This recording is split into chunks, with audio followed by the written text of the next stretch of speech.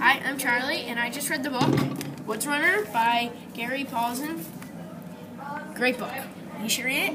But so there, it it's this this boy who goes. He's only like 13 or something, and he is all he runs in the woods. He hunts, and it takes place in colonial times, like around like 1770, during the like around the Revolutionary War.